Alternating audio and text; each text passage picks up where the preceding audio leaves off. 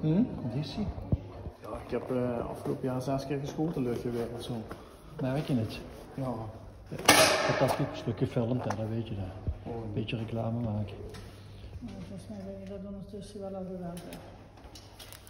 Van hem Van hem dus bezoek. Maar tegenwereld, eh merk, merk je dat conditioneel?